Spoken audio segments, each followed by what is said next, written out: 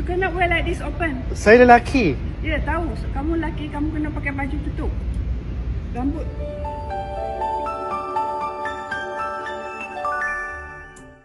Kebanyakan rakyat Malaysia sudah tahu mengenai tata cara pakaian ketika memasuki ruang dalam Masjid Negara Kuala Lumpur. Setiap tetamu masjid, sama ada lelaki atau wanita, perlu mengenakan pakaian yang menutup aurat bagi menghormati rumah Allah tersebut. Bagaimanapun, baru-baru ini seorang lelaki berkongsi satu rakaman lucu sewaktu dia hadir ke masjid itu. Dia telah ditegur oleh seorang wanita pertengahan umur supaya menutup aurat.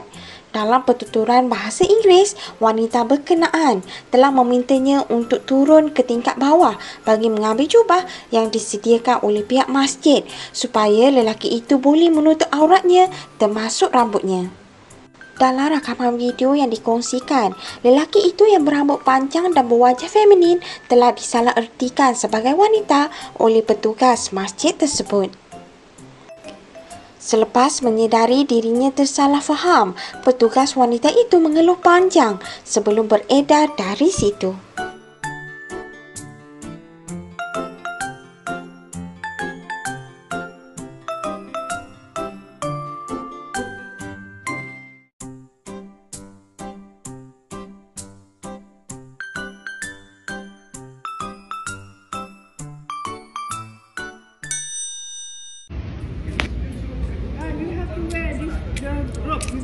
Wear the robe. You cannot wear like this open. Saya lelaki. Ya, yeah, tahu. Kamu lelaki, kamu kena pakai baju tutup. Rambut. Topi. Saya lelaki. Saya tahu. Ah. Tapi tak boleh macam ni. Ah, tak boleh macam mana tak faham. Rambut buka kena ada topi pakai pakai baju kat atas. Saya bukan perempuan. Rambut tak payah tutup. Buka aurat. Aduh, hai. Ah. Lelaki tak perlu tutup rambut. Okay guys, okay, let me tell you story. Okay, so aku dengan kawan-kawan aku pernah experience kena tegur dengan staff Masjid Negara.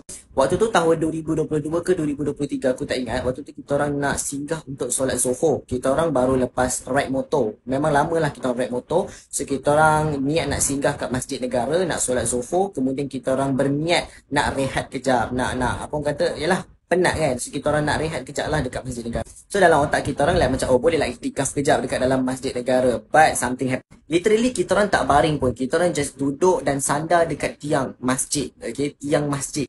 And then datang seorang um, staff masjid negara ni dekat kita orang in a very very very rude dan tak ada manners langsung. Dia cakap kita orang sini tak boleh tidur.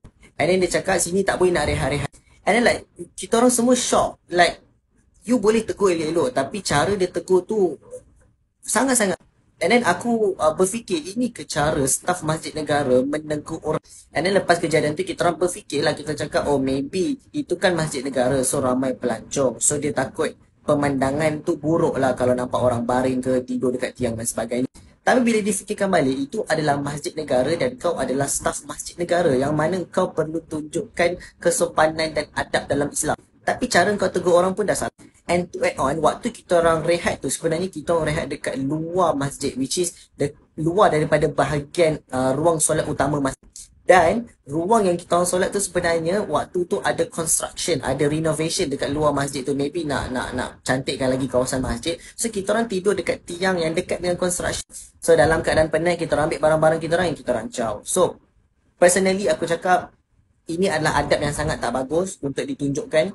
Dan bila difikirkan balik adalah salah ke kalau kita nak duduk rehat dekat masjid untuk kita iktikaf dan sebagainya. Aku rasa itu tak ada salah. Dan personally aku cakap staff masjid negara on that time okay? On that time sangat-sangat rude dan perlu belajar macam mana nak tegur orang. Kalaulah peraturan masjid itu salah untuk tidur ataupun rehat dekat tiang even dekat tiang you boleh datang elok-elok dan tegur elok-elok So daripada abang yang aku stitch video ni tadi tu korang boleh dapat tahulah perangai staff staff dekat Masjid Negara macam mana. So if you guys datang ke Masjid Negara, you guys patut tengok perangai orang macam mana, okay? But aku tak salahkan orang, but orang perlu ada um, cara untuk menegur dan perlu tengok situasi dan keadaan. Okay, itu je cerita untuk hari Jumaat. Bye-bye. Hai guys, ada yang tintan daripada video aku sebelum ni Ada satu komen, ada banyak komen lah yang macam ni Masjid negara problem lah, masjid tak mesra lahir langsung Okay, sebenarnya guys Dia bukan soal uh, masjid problem. Dalam konteks ni sebenarnya yang selalu melakukan kesalahan itu adalah manusia. Biasalah manusia itu kan sifatnya lemah dan sentiasa buat salah. Tapi perkara ni pula janganlah sampai kita seperti menghina institusi masjid. Sebab masjid ni literally memang tak salah. Okay? Memang tak salah. Sebab masjid ni adalah rumah Allah yang perlu dijaga, yang perlu dibersihkan dan dicantikkan. Dan kita tak salahkan sekiranya ada masjid-masjid yang special macam masjid negara ini perlu ada peraturan tambahan untuk menjaga kecantikan dia, untuk menjaga keselamatan dan sebagainya. Cuma yang kita minta untuk diperbaiki adalah uh, bagaimana cara uh, apa mereka menegur orang yang datang masjid ataupun surau. Mungkin masjid atau surau lepas ni boleh uh, belajar macam mana cara nak tegur jemaah kalau kami sebagai jemaah ataupun orang luar yang tak pernah solat di masjid tersebut uh, melakukan sebarang pelanggaran peraturan dan sebagainya. Dan ada juga yang membanding-bandingkan tiru Masjid Al-Bushra lah, Masjid Badat lah dan sebagainya. Jadi benda ni bagus eh kalau kita mencontohi oleh masjid-masjid yang orang suka dan dia punya servis pun bagus. So mungkin masjid-masjid ataupun surau-surau boleh untuk tiru uh, ataupun ikut jejak langkah masjid-masjid yang terbaik. Sebagai contoh yang selalu bagi tahu adalah Masjid Petaling. Siapa yang selalu keluar jemaah, siapa yang selalu solat dekat Masjid Petaling, dia akan tahulah dekat situ nak iktikaf ke, nak tidur ke, nak dengar masjid apa majlis ilmu 24 jam pun boleh, tak ada masalah. Dan Masjid Petaling paling best sebab dia tak pernah tutup. Ha, dan selalulah uh, apa tabligh orang-orang jemaah 30 hari, 3 hari semua ada dekat sana. Saya pernah pergi. So sekali lagi dalam isu ni tak pernah ada salah masjid dan jangan sampai kita mencerca dan menghina masjid. Yang salah tu always manusia, okey? Dan kita doakan yang terbaik untuk masjid dan juga staff-staff masjid supaya kita sebagai uh, umat Islam ataupun jemaah yang nak solat dekat masjid ni merasa tenang dan gembira nak datang masjid selalu. Alright? So kita tinggal lagi beberapa hari Ramadan, marilah sama-sama kita tingkatkan amal.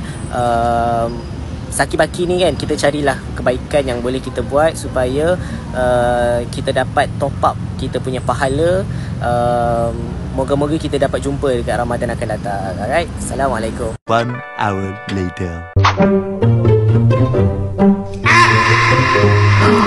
Astaghfirullahaladzim Masya Allah Kamu ni Inilah masalah budak-budak sekarang ni. Pakai baju singkat. Nampak benda yang tak sepatutnya. Ini dah kira batal solat.